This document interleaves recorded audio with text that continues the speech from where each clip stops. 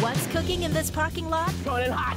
Oh yeah, baby. Four chefs race against the clock to create dishes. Caramba! With groceries bought from unsuspecting shoppers. 60 bucks for your butter? For butter?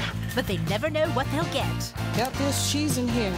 I definitely hit the jackpot. Who will impress the jury? Your fried chicken is picture perfect. You know what you're doing, bro. And win $10,000. The winning chef is Supermarket Stakeout.